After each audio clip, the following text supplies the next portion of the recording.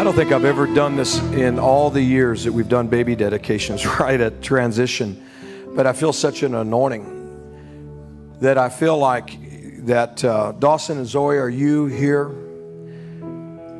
Come on up here. Bring your bring your little one, Faye, up here.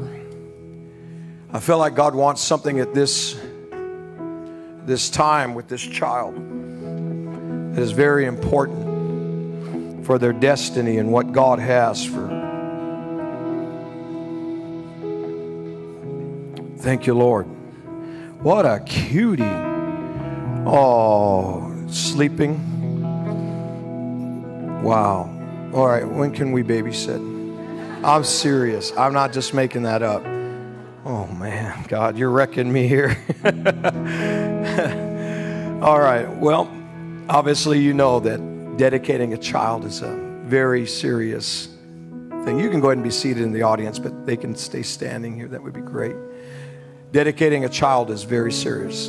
Obviously, in Scripture, you don't really read of any situations or accounts of baby baptisms. That was something when a person made a decision to be converted, to change, they would go down in the water. That would be the old life, and then they'd come up like Jesus, 30 years of age, in the newness of life. But children were dedicated.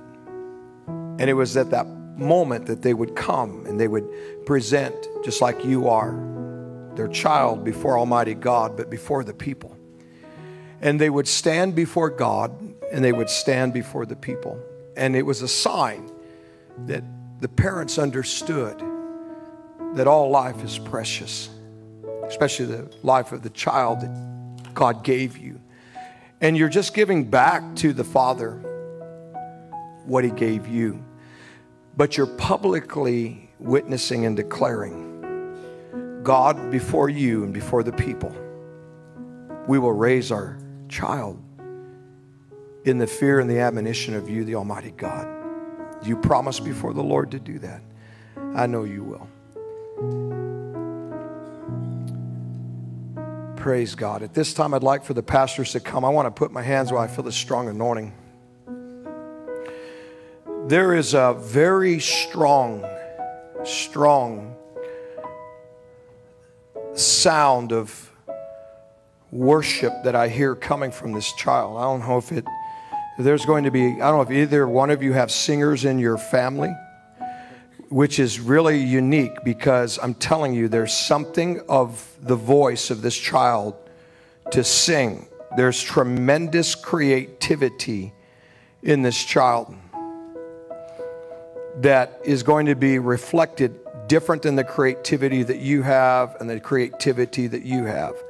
The creativity is going to be more towards the things of the kingdom. And you're going to see a real draw at a very early age that this one will have of wisdom and of, and of knowledge that people will say is beyond their years.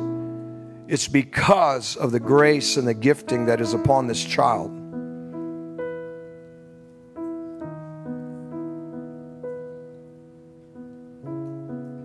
Fact, I hear the Lord say it's a harp and it's a bowl, is a gifting that's been placed. The harp is a call of worship, a sound of worship, a draw to worship. In fact, you're going to see at a, a particular age, they're going to want to almost like mimic playing something with their fingers.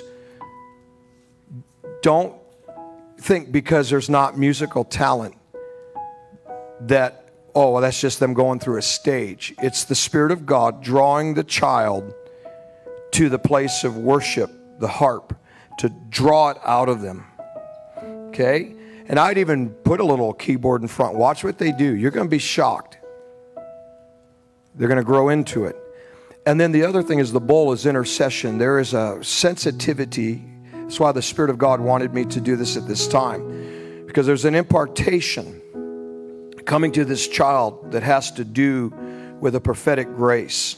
That's why the music is there, but it's also intercession, but to prophesy, to speak the word of the Lord.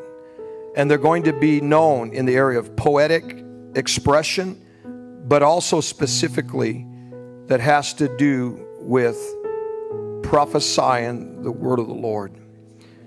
And so, Lord, we stand before you. Pastors, come on around. We lay our hands upon this precious one. And we release that anointing the harp and the bowl, the worship, praise, and the intercession and the mouthpiece for God. We call those talents forth.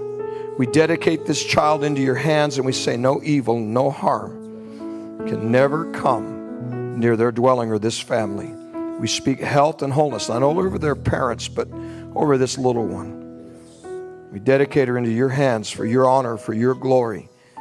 And may her giftings and callings and the things that have been written about this child manifest. And it'll never be aborted or delayed or hindered. But we call it forth in the earth in Yeshua's name. Amen. Man, I feel a really strong anointing. Thank you, Lord. All right. Well, you know what? If God stops and does this for one child, you know what? It's okay. That's what we have to learn to do. He's in charge. Amen. Let's go ahead and stand up for just a moment. Let's give honor to God and to that beautiful couple and their child. And uh, we thank the Lord for that. All right.